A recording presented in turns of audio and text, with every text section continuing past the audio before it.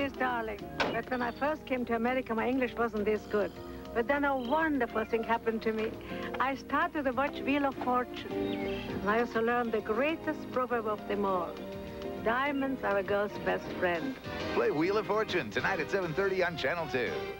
They can take away my husband, they can take away my driver's license. But darling, don't touch my wheel.